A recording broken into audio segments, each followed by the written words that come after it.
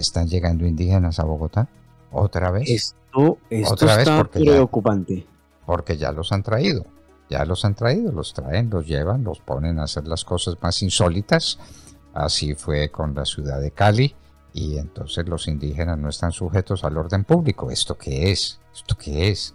Aquí la nación colombiana no es una nación unitaria de ciudadanos que están sometidos todos al imperio de la ley. ¿Qué pasa ahora con los indígenas de mar?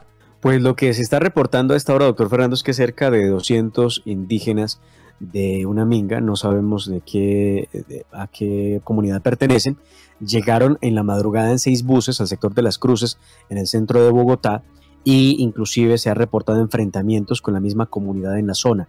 No sabemos en qué va a esta hora la situación, pero estaremos muy atentos porque pues de la mayor gravedad eh, que esto venga a ocurrir. Además, ¿quién los transportó en seis buses ¿Y por qué los trajeron a Bogotá? ¿Cuál es la razón?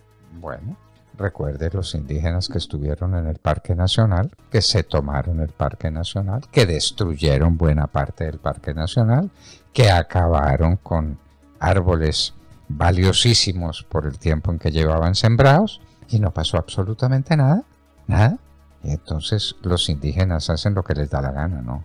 ¿No? Los indígenas están sometidos a la constitución política de Colombia, están sometidos a la ley deben respetar las leyes de Colombia y alguien los está moviendo.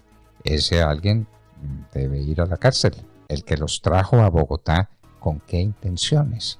Y los llevan al barrio de las Cruces. Esta vez no los trajeron al Parque Nacional, los llevaron a las Cruces, un barrio eh, muy apreciable.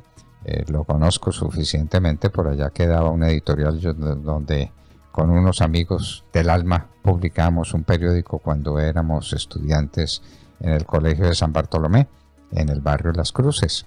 Entonces la gente reacciona porque la gente no quiere que le invadan su territorio, no quiere ver unas personas que no llegan con destino conocido a vivir de qué y a vivir como en plena calle. ¿Esto qué es?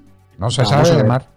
¿Qué pasa? Vamos a ver qué pasa con esto. Estamos esperando más noticias frente a esa, llegada de indígenas, que qué mal porque alguien los debe, instrumentalizar, evidentemente, alguien los, lleva a montarlos a un bus, a una, no sé, a un bus escalera, a trasladarlos desde su tierra, porque la tienen. Recuerde usted que las comunidades indígenas en Colombia tienen más de 34 millones de hectáreas para ellos y los traen a, ciudades como Bogotá a pasar necesidades y a enfrentar situaciones muy difíciles.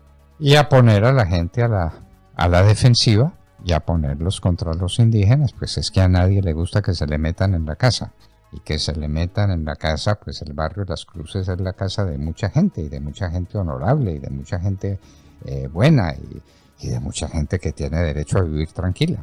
Y le traen una cantidad de indígenas montados en unos buses. A hacer qué, hacer qué, con qué propósito, para qué los traen a Bogotá como si fueran animales, como si fueran qué. ¿Ah? No, esto es inaudito las cosas que pasan en Colombia es inaudito. ¿Qué está pasando? Usted se lo pregunta. Nosotros también nos lo preguntamos. Bueno, de Marte.